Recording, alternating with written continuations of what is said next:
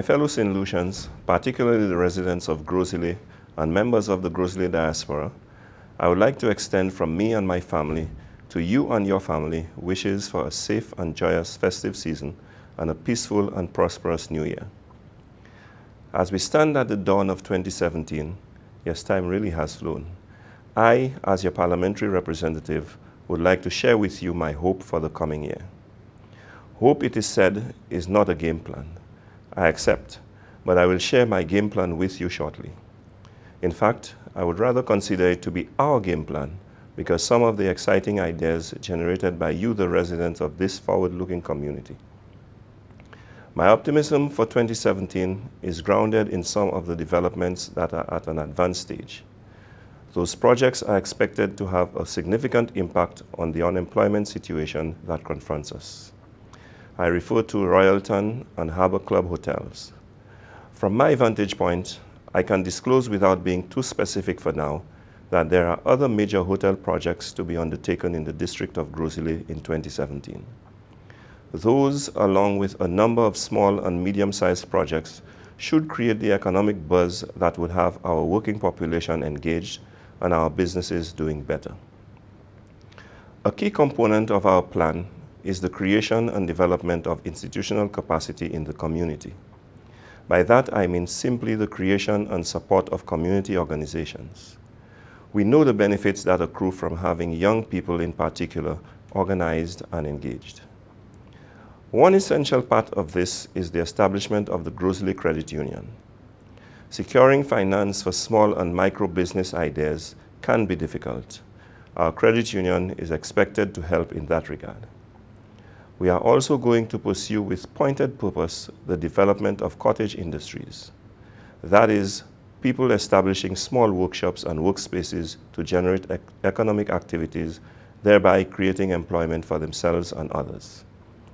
This is a growing sector and one that holds tremendous promise, which we intend to harness. In 2017, we are going to dust off our idea for the kitchen garden. This is driven by our desire to produce more of what we consume. I hope that the movement will spread to other communities as well. 2017 will mark the year of the return of competitive cricket in Gros following a four-year absence we shall begin the process of getting athletics, table tennis, football, netball, and volleyball back to their glory days. We'll be embarking on a program to create more open public spaces throughout the district. In some cases, we will work with landowners to convert neglected lots into beautiful, functioning open spaces. In the community of Grand Riviere, for example, we have earmarked an area for the creation of a park and will continue the construction of the basketball court, which was begun some six years ago. My cherished ICT centers, I love them for the sheer impact they have on life, particularly in the more rural parts of the constituency, are now being reopened. They are invaluable to students whose homes are not equipped with internet connection and a major asset for people setting up businesses. The HRDC in Gros Islet will be the focal point for the creative arts and a model not only for St. Lucia, but for the region. It will be instrumental in developing and promoting the creative talents of the community in film, performing arts, craft, dance, music, comedy, to name just a few. This institution also will assist those creative people in marketing their talents locally and overseas. Security is of paramount concern to me, and very early in the new year, we will fashion a comprehensive and practical plan that seeks to make our communities safer for all. Our roads need urgent attention. I know that because, like you, I commute daily. We have begun the potholing project, which will be intensified in the coming year. More extensive road repairs and construction are also in the works we know that some of our secondary roads are in a poor state. This is a costly undertaking, but we will we'll dedicate time and resources towards addressing those genuine concerns. The condition of our secondary roads is one area of concern, and so is the management of the traffic on our roads. That has to be addressed to create relief for road users.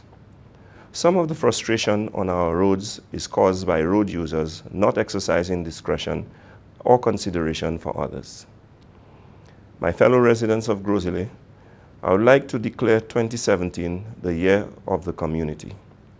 It is no longer acceptable to confine our contribution to the development of our community to the odd criticism of what is wrong. Passive criticism has had its day. It has not and will not work.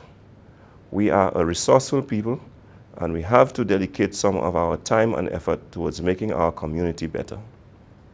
I will work tirelessly towards creating the enable con enabling conditions for each one of us to make our contribution to have this community become cleaner, safer, and more functional.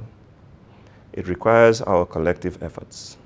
Yes, I will use the organs of government to make life better, but each one of us must strive to make this district of Gros Islet a better place to live, work, and play in 2017. Once again, I wish you and your family a safe and enjoyable Christmas and a peaceful and prosperous New Year. I thank you.